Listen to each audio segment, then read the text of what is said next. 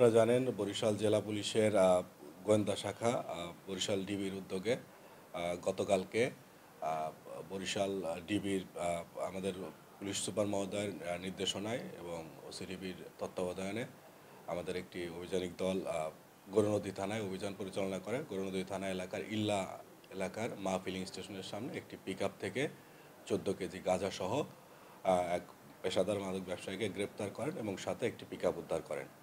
এবং আমরা তার ওই আসামির পিসিপিআর খোঁজ নিয়ে দেখতে পাই যে তার বিরুদ্ধে ইতিপূর্বেও দুই হাজার বিশ সালেও সে মাদক মামলায় গ্রেপ্তার হয়েছিল এবং তাকে আরও জিজ্ঞাসাবাদ করা হবে। জিজ্ঞাসাবাদের মাধ্যমে তার কাছ থেকে আরও তার সাথে কারা জড়িত বা সে কোথার থেকে গাঁজাগুলো আনে সেগুলো আমরা যাচাই বাছাই করব।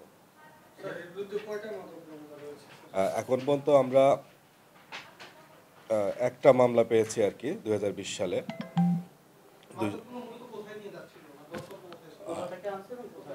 এটা সম্ভবত কুমিল্লা থেকে এনেছে মাদকগুলো, এবং এর ডেস্টিনেশন বরিশাল এলাকায় ছিল, এই অঞ্চলে ছিল আর কি। আপনার প্রশ্নের জন্য আসলে আপনারা দেখেন যে আমাদের পুলিশ আমরা কিন্তু চেষ্টা করে যাচ্ছি, আমরা মাদক ধরে, মাদক সহ, মাদক ব্যবসায়ীকে ধরে আমাদের কাজ হচ্ছে বিজ্ঞ আদালত উপস্থাপন করা। এরপরে তিনি কবে জামিন পাবেন বা তার যেটা হয়, সেটা তো আসলে আমরা বলতে পারব না, এটা বিজ্ঞ আদালতের বিষয়, তারা এই বিষয়ে সিদ্ধান্ত নেবে।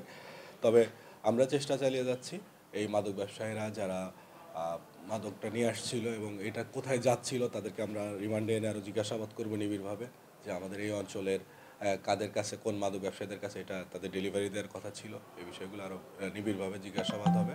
এবং আমাদের বিশ্বাস, যদি আমরা তাদের থেকে জিজ্ঞাসাবাদ থেকে প্রকৃত তথ্য উদ্ঘাটন করতে পারি, তাহলে আমরা হয়তো এই অঞ্চলে যারা মাদক ব্যবসায়ী আছে তাদেরকে আমরা গ্রেপ্তার করতে পারব এবং একই সাথে এই চেইনটা আমরা ব্রেক করতে পারব। তাহলে এই মাদক ব্যবসায়ীদের এই যে মাদক চোরাচালানের অংশটা, এটা কিছুটা হলেও বন্ধ হবে আমার বিশ্বাস। বারো বছরের রিপ্লেসমেন্ট গ্যারান্টি নিয়ে টানবির মেটালি প্রথম বাংলাদেশে। টানবির মেটালের স্মার্ট পণ্য ব্যবহার করুন। স্মার্টফোন